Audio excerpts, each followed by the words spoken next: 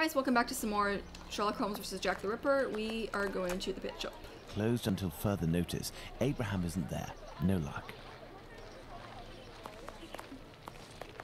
Beep beep. Beep beep. Good evening. Oh, good evening, sir.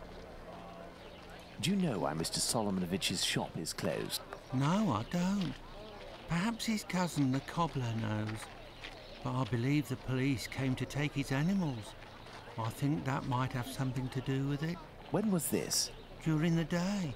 He's got the no kids you teeth. were with the other day were there. They That's told why he me. looks like a puppet. They just came by to ask for some cat's meat. They didn't have any money, but I gave them some anyway. Ah, Is something wrong? it's just that there was a little girl with them, the same age as mine. My little girl who went away with her mother, with the angels into the sky. Dr. Watson told me about your loss. Please accept my condolences. Would you like to talk about it? Uh, how did it happen? The illness, sir. My poor little girl was in agony, and her face and body were ravaged by the disease. Her face. Yes, she looked like a ghost. What illness was it? Dr. Gibbons tried to explain when I took my little girl to see him, but I didn't understand. I'm sure that he was trying to insinuate it was my fault. What I'm the hell was sorry, that? But I don't want to talk about it anymore. I understand. Farewell. Poor guy. Let's go and see Dr. Gibbons. Indeed. Oh, Dr. Gibbons. Open. Why is there just screaming in the street for? This game is retarded. You, don't you have a, like, you're always here. Hello, Doctor. Do you remember me? I'm Sherlock Holmes, Dr. Watson's friend. Oh, yes. Excuse the mess, but I am doing a bit of tidying. I have come to see you about a Mr. Hardyman, a cat food seller by trade who recently lost his daughter and wife. Yes, I know him. A tragic story. Actually, I was hoping you could tell me about the disease that took his daughter, a disease that would have attacked her face. Well, to keep it short, we are speaking of syphilis, Mr. Holmes. You must certainly know that it is transmitted through intimate connections and the vast prostitute population here contributes to its inevitable progression. It destroys individuals by spreading through the body slowly. The most obvious symptoms can be found in the genitalia and on the face in the form of pustules or lesions. Sometimes this illness can destroy whole families. The father catches it from a prostitute, he transmits it to his wife, who in her turn passes it to the kids which she bears or nurses. These cases are numerous in the vicinity. Certain children, and this is the case of the little girl whom I won't name, suffer from an emaciation of the face which will, apart from predicting an imminent death, bring infamy upon the family. Emaciation of the face? Yes, what we sometimes call the pox. I will give you a photograph. One cannot be mistaken on the origin of such a face. The eyes seem to be void of lids, the nose is inexistent as if it was cut off, and the cheeks are chiselled as if cut with a knife. This loss of facial matter, this emaciation, is in this area often the gift from a father to his children. Can I keep this photograph? I should destroy it. But if it can remind you that one must sometimes think twice before giving in to physical attraction, I always seem to find myself alone in such cases. Thank you, Doctor. He's gonna put him on his wall next to everything else. Oh god, I don't want to freak. Oh, don't show me that. That's disgusting. That's a child? That doesn't look like a child. Ugh, Let's go gonna to the vomit. cobblers. God. Disgusting. Let's go to the cobblers. Jesus. I'm like robbling everywhere. Jacob. Jacob! Hello, Mr. Solomonovich. Ah, Mr. Holmes. How are things Yeah, he's you? the one with the accent like that. I heard your cousin Abraham had a problem with his shop. What happened? Ah, if I didn't know you well, I would tell you that it's Jewish business that doesn't concern anyone but the Jews. But as you have a little bit to do with it, you have the right to know what is going on. Ah, would I have something to do with it? Someone had seen Abraham telling you something and making big gestures near the Imperial Club. A vicious rumor quickly spread, and it has caused him great injustice. A slanderous denunciation attracted the authorities' attention to my cousin's shop. Abraham must be in the process of answering their questions. I did, indeed, speak with your cousin the other night. I'm shocked at the consequences of this discussion. As I was saying, it's the story of the Jews. In the face of adversity, we are united, but amongst ourselves, it's like anywhere else. As soon as our people take a dislike to someone, for right or wrong, we can be without pity and quite cruel. Aldgate. This is all very worrying. Your cousin knows one, or rather two, of the men who were at the Imperial Club on the night of the Mitre Square murder. One of the two, a butcher in Aldgate named Joseph, is probably withholding information of the utmost importance. I must find this man. Perhaps you can help me. But there are dozens of Jewish butchers around Aldgate, half of which must be called Joseph. And you know, Mr. Holmes, we Jews prefer to remain in the background of this murderer business, this Jack the Ripper thing. All of London is pointing their fingers at us, saying, It's a Jew who disemboweled these women. Our community is in great peril, you know. There was the business with Lipski and Leather Apron. Uh, I will see what I can do, but I don't promise anything. I'd be extremely grateful to you. Very well. We may meet again, grateful. Mr. Solomonovich. You are Oh, most gross. welcome, I'm sorry, Mr. guys. I've paced up and down Whitechapel enough. I should return to Baker Street in order to reflect on the new facts that I have discovered. Let's go to Baker Street.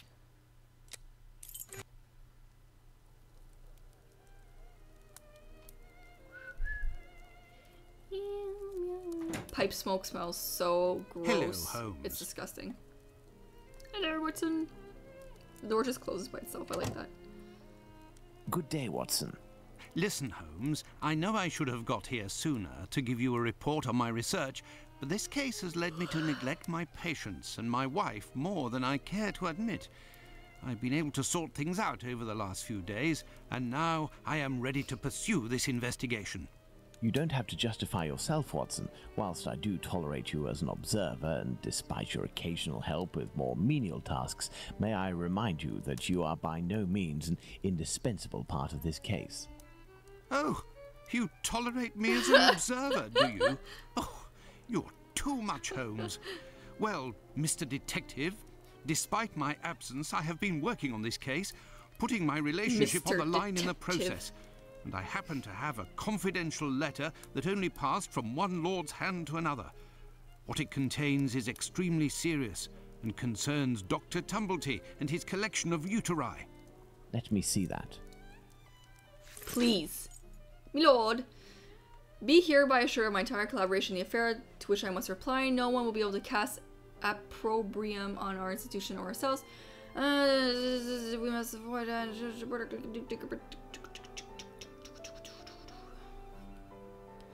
My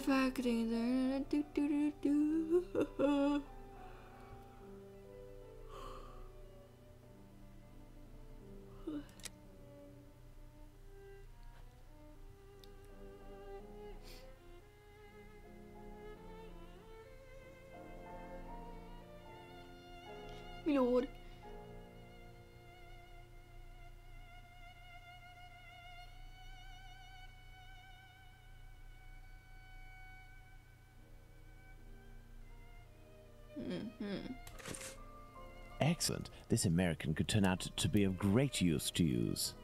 That's right. And that's not all.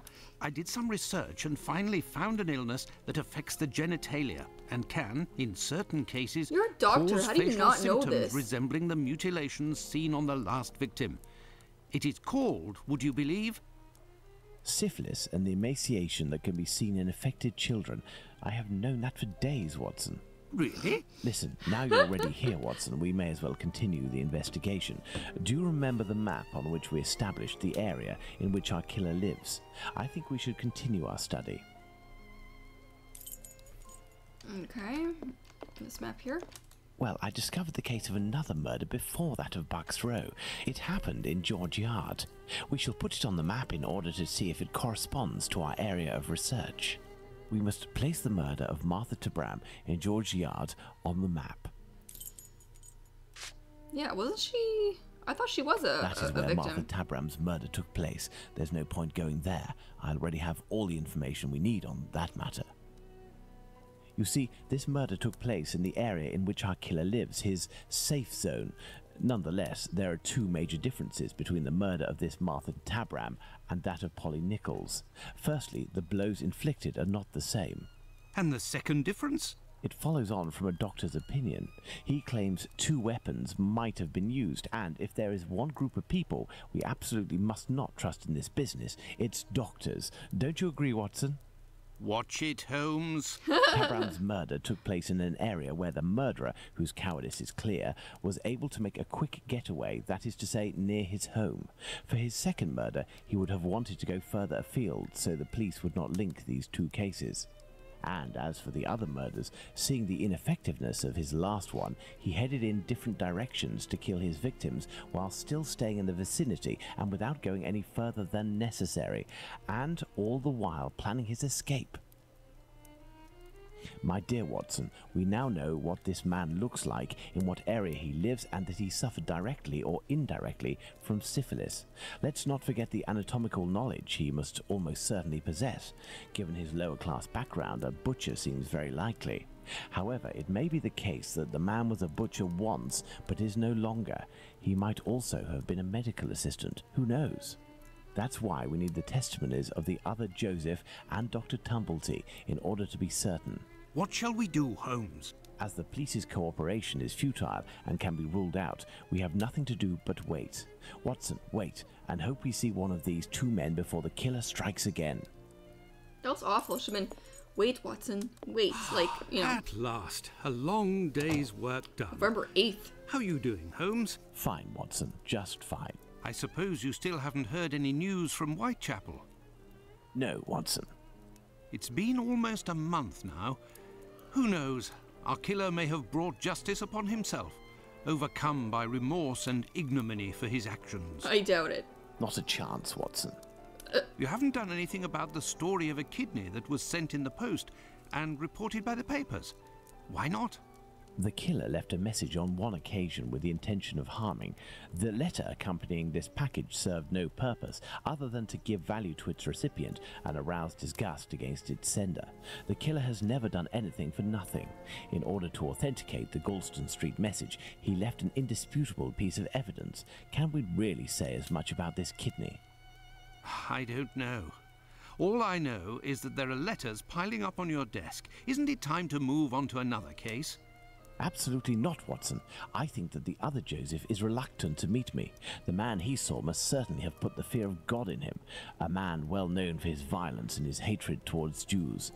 There can't be any shortage of those in Whitechapel. I have hope yet. As for Dr. Tumblety, We found him, Mr. Holmes. We found him. Who's that? Dr. Bumblebee. He's been locked up by the bobbies, but they've let him loose. Oi, he was looking round like a rat who's scared of his own shadow. He's gonna do a run at years. Watson, this is our chance. The game is afoot. Let's hope that Tumblety will go to collect his trunk. As for you, my little friends, thank you for lifting this burden that has been on my shoulders for almost a month. Give us something to eat, man. Um. Finley! He is here. The doctor is here, up in his room. Peeking through my door, I saw him go up the stairs, and I think that he has a pistol. Regarding the trunk, did you do what I told you to? Yes, I jammed the lock and filled the trunk with stones. Should we call the police? Absolutely not. Go home, lock your doors, and if you hear a gunshot, shout as loudly as you can.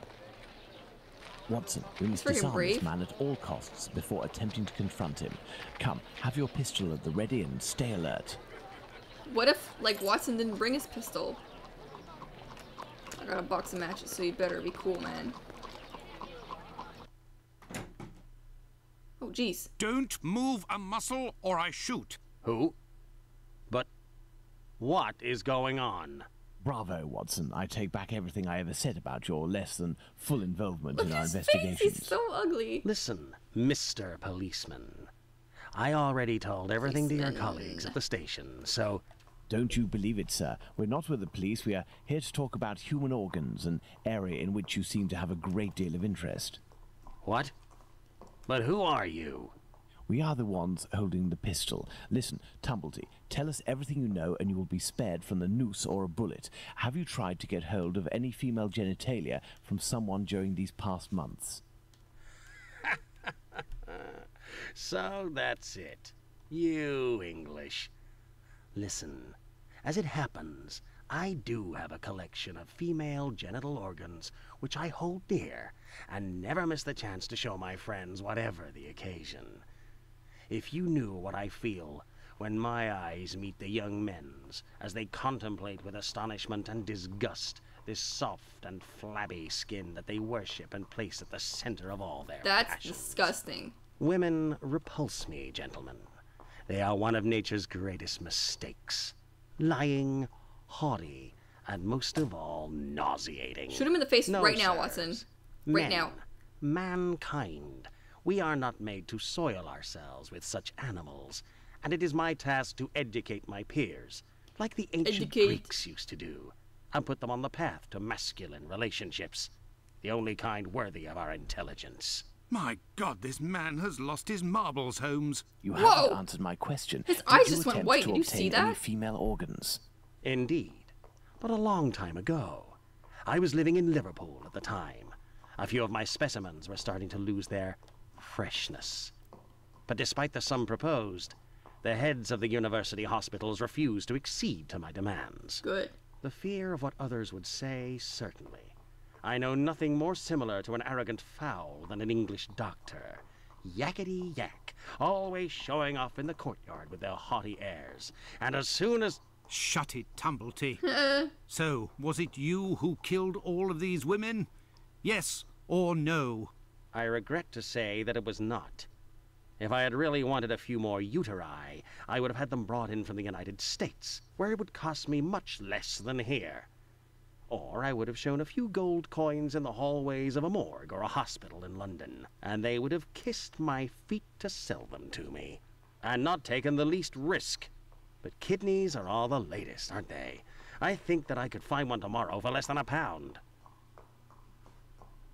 In short, gentlemen, I do not know your killer, and I don't know why he's doing that. But if you come across him one day, please send him my friendship and my deepest respect. What You've a gone dick. too far this time. Come, Watson, let's not get carried away now.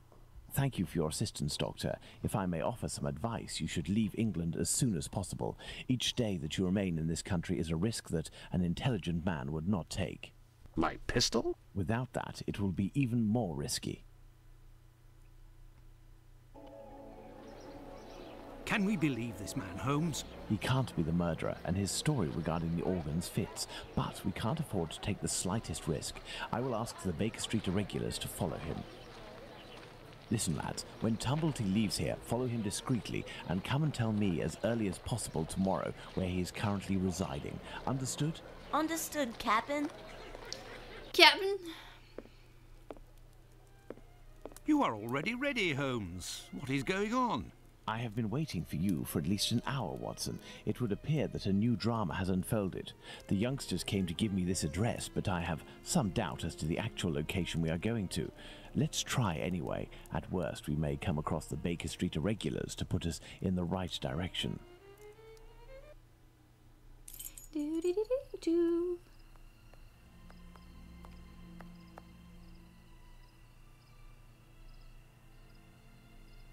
We are lost, Holmes.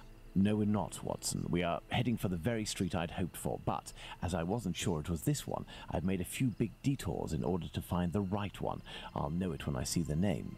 Why, of course, Holmes. Why didn't I think of that? The great Sherlock Holmes can't.